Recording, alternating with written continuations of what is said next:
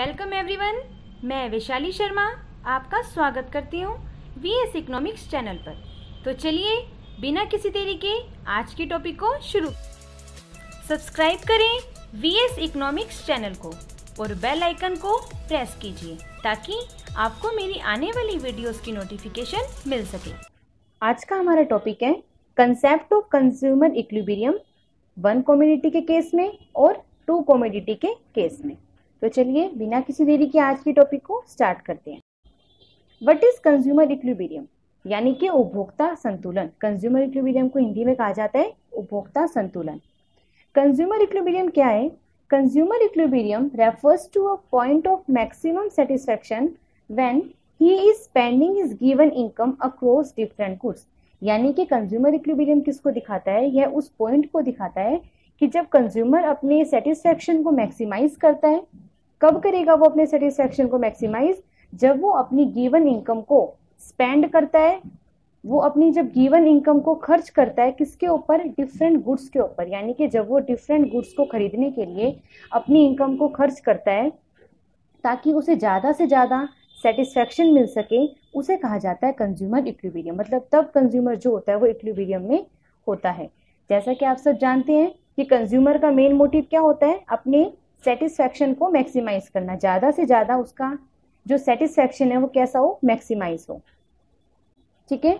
तो next concept इसमें हमारे पास आता है marginal utility analysis and consumer equilibrium अब जैसा मैंने आपको बताया कि कंज्यूमर का मेन मोटिव होता है अपने सेटिस्फैक्शन को मैक्सिमाइज करना। अब सेटिस्फैक्शन को तो मैक्सिमाइज करेगा, लेकिन साथ ही साथ यह भी पता होना बहुत ज़रूरी है कि वो इक्विलिब्रियम का जो पॉइंट है, वो कहाँ अटेन होगा? यानी कि इक्विलिब्रियम का जो पॉइंट होगा, जो संतुलन का जो पॉइंट होगा ना, जो संतुलन का बिंदु होगा, वो उसे कहाँ पर मिलेगा? इसके लिए हम टू डिफरेंट सिचुएशंस के बारे में पढ़ेंगे। सबसे फ़र्स्ट हम पढ़ेंगे when only one commodity is consume यानी कि जब वो केवल एक कॉमोडिटी का यूज़ करता है, जब वो केवल एक कॉमोडिटी को कंज्यूम करेगा, तब उसका सेटिस्फेक्शन लेवल क्या होगा? या फिर तब उसका इक्विलिब्रियम पॉइंट कौन सा होगा? और सेकंड व्हेन टू और मोर कम्युनिटीज आर कंज्यूम जब वो दो या दो से ज़्यादा कम्युनिटीज का यूज़ करेगा या कंजप्शन कंज्यूम करेगा, तब उसका सेटिस्फेक्शन जो पॉइंट होगा या फिर उसका इक्विलिब्रियम जो लेवल होगा वो कहाँ होगा? उससे पहले हम पढ़ेंगे इसमें assumptions of consumer equilibrium consumer equilibrium की अजप्शंस क्या क्या हैं? ठीक है? कंज्यूमर इक्विलिब्रियम की अजप्शंस क्या क्या है?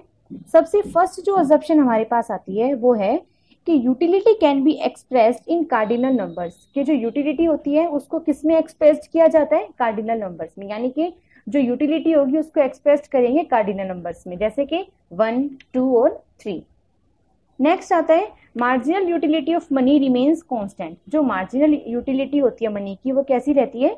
कॉन्स्टेंट रहती है।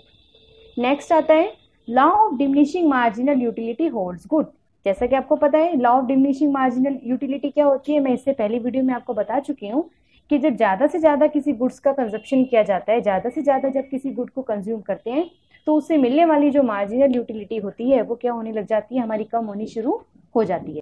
नेक्स्ट अजप्शन आती है कंज्यूमर बिहेव रेशनल अब जैसा कि आप सब जानते हैं कि जो कंज्यूमर होता है, वो कैसा होता है? रेशनल होता है। यानी कि उसका क्या एम होता है? उसका यह एम होता है कि वो ज़्यादा से ज़्यादा अपने सेटिस्फेक्शन को क्या करे? मैक्सिमाइज करे। ठीक है? कंज्यूमर का यही एम होता है कि वो ज़्यादा से ज़्यादा अपने सेटिस्फेक्शन को क्या करेगा? मैक्सिमाइज करेगा। नेक्स्ट कंसेप्ट हमारे पास आता है consumer equilibrium one commodity case यानी कि वन कॉमोडिटी के केस में कंज्यूमर का जो इक्विलिब्रियम होगा, वो कहाँ होगा? Purchase of a commodity by a consumer depends on three factors अब देखिए, जब किसी कॉमोडिटी को परचेज करने के लिए जो कंज्यूमर होता है ना होता है ना, वो तीन फैक्टर्स पे डिपेंड होता है। मतलब तीन फैक्टर्स जो होते हैं, वो निर्भर करते हैं किस कौन कौन से फैक्टर्स होते हैं। पहला प्राइस ऑफ़ द कॉमोडिटी कि उस कॉमोडिटी का प्राइस कैसा है। सेकंड मार्जिनल या फिर total utility of the commodity उसकी मार्जिनल और टोटल यूटिलिटी कैसी है। And third marginal utility of money और मार्जिनल यूटिलिटी जो है मनी की, वो क्या है। अब, आप ये सोच रहे होंगे कि what is marginal utility of money marginal utility of money क्या है? Marginal utility of money refers to worth of a rupee to a consumer कि एक कंज्यूमर के लिए रुपी की क्या कीमत है? एक कंज्यूमर जो है, उसके लिए रुपी की क्या कीमत है? Which is determined by consumer himself इसे जो कंज्यूमर होता है ना, वो खुद डिटरमाइन करता है। यानी कि देखो, पैसे की जो कीमत होती है, वो हर कंज्यूमर के लिए डिफरेंट होती है। यानी कि अगर हम अगर हम रिचर सेक्शन की बात करते हैं तो उसके लिए किसी भी कॉमोडिटी को खरीदने के लिए जो उसकी कीमत है, उसके लिए डिफर होगी। अगर हम मिडिल क्लास की बात करेंगे तो उसके लिए अलग होगी। अगर हम पुअर सेक्शन की बात करते हैं तो उसके लिए अलग होगी। तो वैसे तो देखा जाए मार्जिनल यूटिलिटी जो होती है मनी की, जिसे हम शॉर्ट फॉर्म में कहते हैं एम यू एम एम जो होती है वो कॉन्स्टेंट होती है। इसमें कॉन्स्टेंट हम लेकर चलते हैं फोर यूटिल्स लेकिन ये डिफर होती है मैन टू मैन लेकिन सब लोगों के लिए क्या होती है, ये डिफर पाई जाती है। इसे हम एक टेबल के इसे हम एक टेबल के ज़रिए समझेंगे। आप अपनी स्क्रीन पर टेबल देख रहे होंगे। यूनिट ऑफ़ कॉमोडिटी एक्स जो जो कि हमारे पास one, two, three, four, five, six तक दे रखी है। Next M U X M U X किसको दिखाएगा? मार्जिनल यूटिलिटी एक्स कॉमोडिटी की। क्योंकि यहाँ पे हम वन कॉमोडिटी की बात कर रहे हैं तो हम केवल एक्स कॉमोडिटी को लेकर चलेंगे। जो आपको आपकी स्क्रीन पर शो हो शो हो रही है twenty eighteen sixteen ten zero और माइनस फाइव उसके बाद हम निकालेंगे M U M marginal utility किसकी? मनी की। अब मार्जिनल यूटिलिटी मनी की निकालने के लिए कैसे निकालते हैं? देखो रुपीज़ वन वन रुपीज़ जो होता है ना, वो किसके बराबर होगा? हमारा फोर यूटिल्स के। मैंने आपको पहले ही बताया था कि जो मार्जिनल यूटिलिटी होती है मनी की, वो कॉन्स्टेंट रहती है। अजप्शन में हमने पढ़ा था। तो कॉन्स्टेंट इस कॉन्स्टेंट इन्होंने लेकर चला है तो ये कितनी लेकर चलते हैं कि भाई एक रुपए में कितनी लेकर चल रही है ये फोर यूटिल्स को। तो हम क्या करेंगे? जो एम होगी हमारी मार्जिनल यूटिलिटी एक्स कम्युनिटी की, उसको हम डिवाइड करते जाएँगे किससे? फोर से। ठीक है? उसको हम डिवाइड करते जाएँगे किससे? फोर से। तो ट्वेंटी डिवाइड में फोर फाइव एटीन डिवाइड में फोर फोर पॉइंट फाइव इस तरह से हम इसको डिवाइड करते जाएँगे किससे? फोर से। ध्यान रखिएगा, बच्चे कई बार पूछते हैं कि केवल फोर से इसको डिवाइड क्यों किया? क्योंकि हमने मार्जिनल यूटिलिटी जो है मनी की, हम कॉन्स्टेंट लेकर चले हैं और इन्होंने हमें खुद कहा है कि जो रुपीज़ वन है वो किसके इक्वल है? फोर यूटिल्स के। तो आपको ध्यान रखना है, आगे तक भी हम जब हम वन कम्युनिटी की बात करें चाहे हम टू कम्युनिटी की बात करें मार्जिनल यूटिलिटी जो है मनी की, वो हमारी कॉन्स्टेंट ही रहेगी, वो रहेगी हमारी फोर यूटिल्स ठीक है? तो इस तरह से हम इसको क्या करेंगे?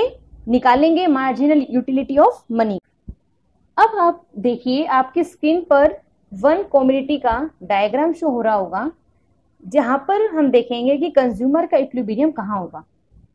आपके डायग्राम में आपको ओ एक्स एक्स एक्सिस पर क्या दिख रहा है? कंजप्शन ऑफ़ कॉमोडिटी एक्स और ओ वाई पर आपको दिख रहा होगा marginal utility and price of commodity X भी हम प्राइस भी कह सकते हैं और मार्जिनल यूटिलिटी अब देखिए प्राइस जो है पी एक्स यानी कि जो आपको पी एक्स दिख रहा है आपकी स्क्रीन के ऊपर जो एक, लंबी लाइन आपको दिख रही है ये आपको क्या दिखाती है कि जो प्राइस है हमारा वो क्या है? कॉन्स्टेंट है यानी कि फोर है। हमने देखा ना यहाँ पे हमने सबको फोर से डिवाइड किया है। तो जो प्राइस है हमारे पास वो क्या है? फोर है। उसके बाद ऊपर से नीचे की ओर जो स्लोप आ रहा है, वो दिखा रहा है अपने पास M U X marginal utility किसकी? एक्स कम्युनिटी की, ठीक है? और बीच में हमारे पास एक सी पॉइंट है, वो किसको दिखाएगा? हमारा पॉइंट ऑफ़ इक्विलिब्रियम को। अब हम ये देखेंगे कि पॉइंट ऑफ़ इक्विलिब्रियम कैसे आया। फ़र्स्ट पॉइंट आपकी स्क्रीन पर है M U X is a downward sloping curve अब एम यू एक्स जो है, वो कैसा कर्व है? डाउनवर्ड स्लोपिंग ऊपर से नीचे की ओर है। अब आप ये देखिए कि एम यू एक्स जो कर्व है, वो डाउनवर्ड स्लोपिंग है। और वो डिक्लाइन हो रहा है। ऊपर से नीचे की तरफ़ आ रहा है तो इसका मतलब एम हमारा डिक्लाइन हो रहा है। एम डिक्लाइन हो रहा है, इसका मतलब क्या है कि कॉमोडिटी एक्स का जो कंजप्शन हो रहा है ना, वो इंक्रीज हो रहा है। ठीक है ना? भाई, हम एक्स का कंजप्शन ज़्यादा कर रहे हैं, जिसकी वजह से एम यू एक्स जो है वो डिक्रीज हो रहा है।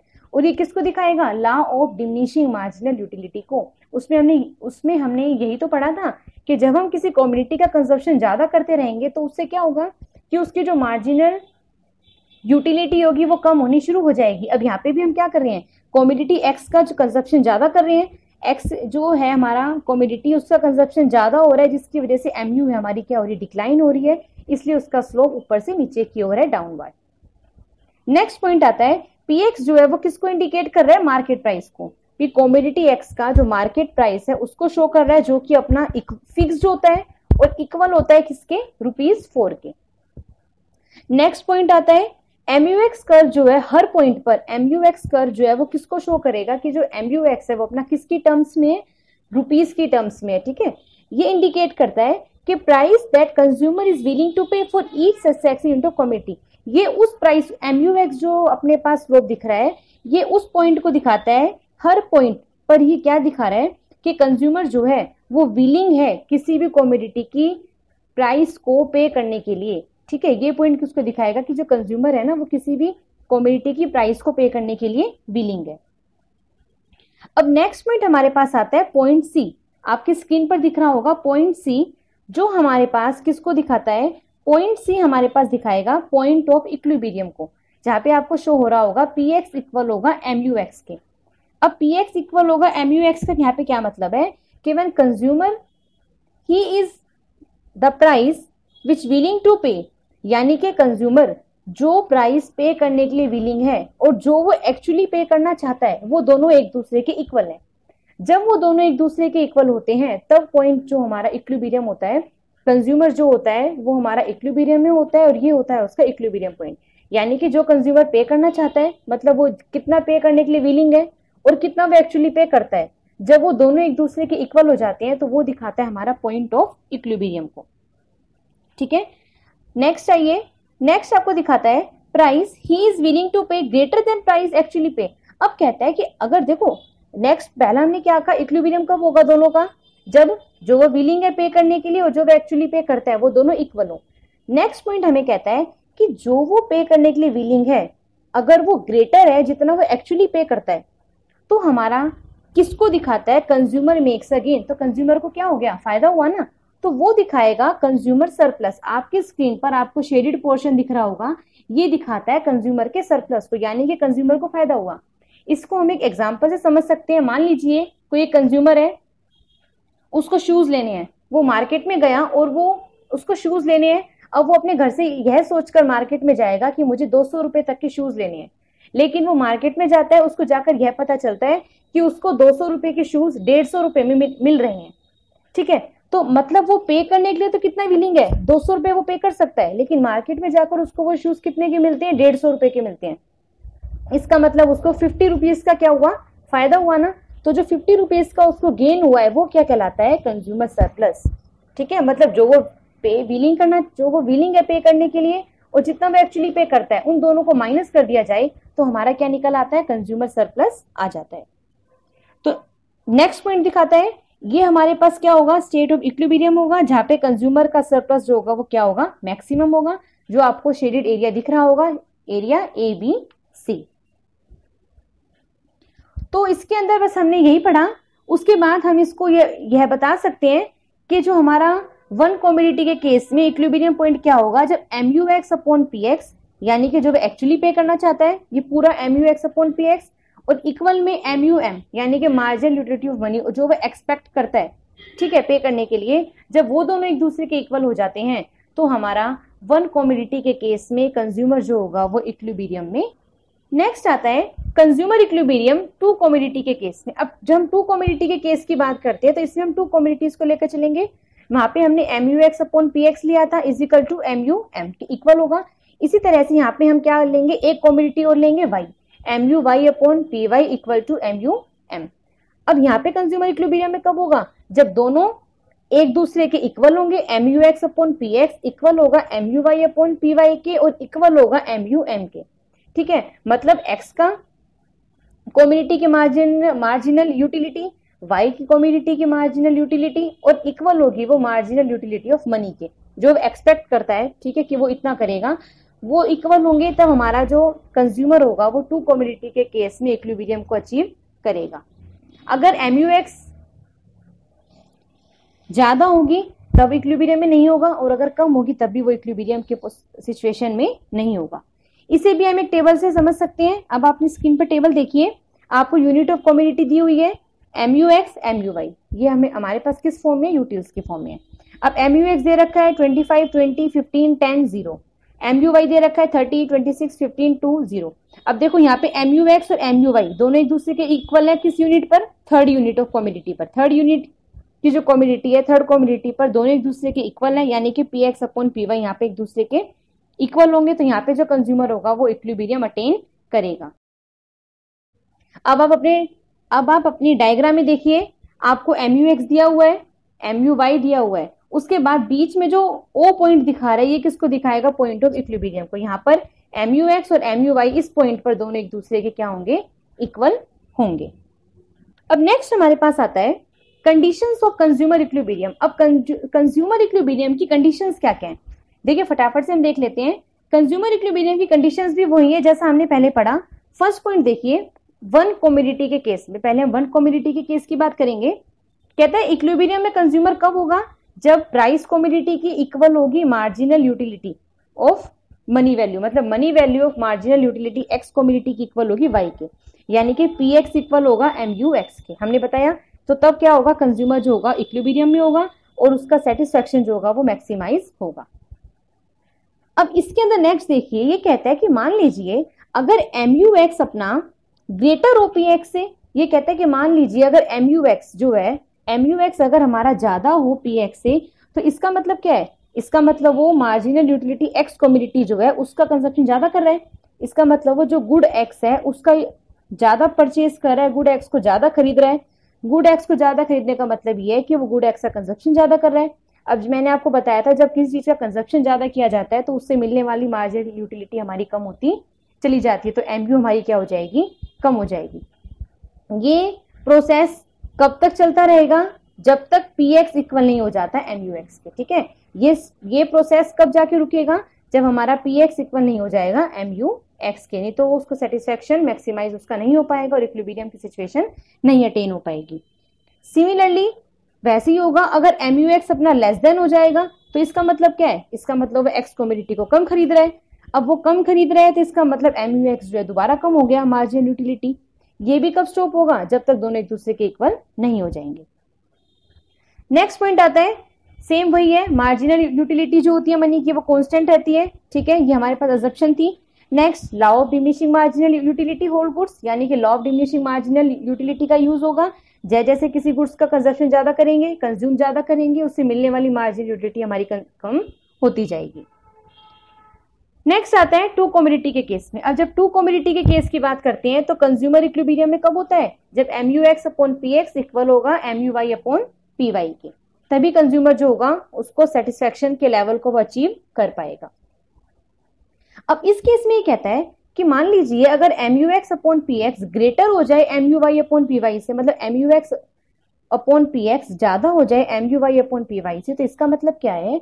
इसका मतलब यह है कि जो कंज्यूमर है वो एक्स की जो कॉमोडिटी है, उसको उस पर ज़्यादा स्पेंड कर रहा है। मतलब जितना भी वो खर्चा कर रहा है ना, वो एक्स की एक्स की, को देखो, इसको समझने का एक आसान सा तरीका है। जो हमारा साइन है ग्रेटर देन का, वो एक्स की एक्स की तरफ़ है तो इसका मतलब वो जो ज़्यादा खर्चा कर रहा है, वो एक्स पर कर रहा है। अब वो एक्स पर ज़्यादा खर्चा करेगा तो उससे क्या होगा? एम यू एक्स जो होगी, कम हो जाएगी। भी उसको ज़्यादा ज़्यादा उस पर खर्चा कर रहा है, उसका उसका कंजप्शन करेगा तो एम यू जो होगी अपनी कम हो जाएगी। और एम यू कम हो जाएगी, उधर एम यू अपनी बढ़ जाएगी।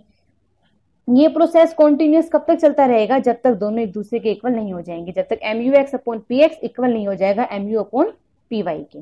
सिमिलरली अगर M U X less than हो जाए एम यू वाई की, यानी कि जब एम यू वाई ज़्यादा हो जाए तो इसका मतलब ये है कि वो वाई पर ज़्यादा एक्सपेंडिचर कर रहा है, जिसकी वजह से मार्जिनल यूटिलिटी वाई की कम हो जाएगी और एक्स की ज़्यादा हो जाएगी। ये प्रोसेस भी कब तक चलेगा? जब तक दोनों एक दूसरे के इक्वल नहीं हो जाते। मतलब जिसकी तरफ़ हमारे पास साइन है ना, इसका मतलब ये है कि उसका कंजप्शन ज़्यादा हो रहा है।